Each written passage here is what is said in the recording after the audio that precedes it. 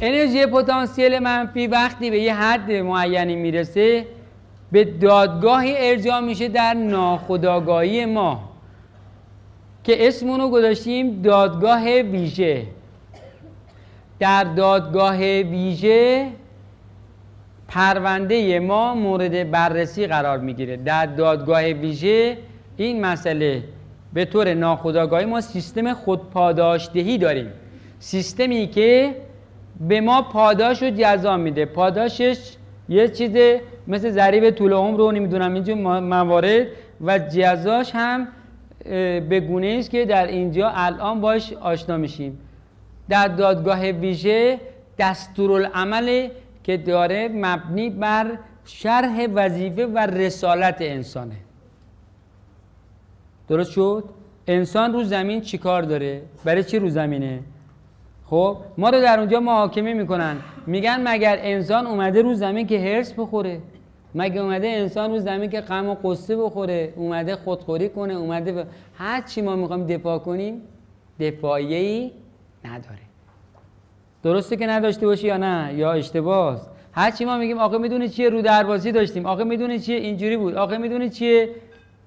هیچ عذری پذیرفته نیست. چون رسالت انسان تعریف شده است. ما برای قصه خوردن برای خودخوری برای هرس رو زمین نیستیم. تموم شد. لذا صدور حکم دادگاه ویژه صدور حکم می‌کنه و ما رو محکوم به بیماری می‌کنه. یعنی بیماری که بیمار روانتنی است حالا بقیه هم همینطوره به یه عبارات دیگه ای ها. یعنی اصلا انسان روز وقتی بیمار میشه در واقع محکومه. نقض مسائل رخ داده. که حالا یواش یواش با همدیگه اینو صحبت می‌کنیم. شما الان ممکنه هزار تا سوال تو ذهنتون بیاد. بچه که به دنیا اومده سرطانی است اون که اونجوری بزن همه رو جواب میدیم. عجله نکنیم. خب حالا دادگاه ویژه ما رو مبتلا می‌کنه محکوم می‌کنه به بیماری.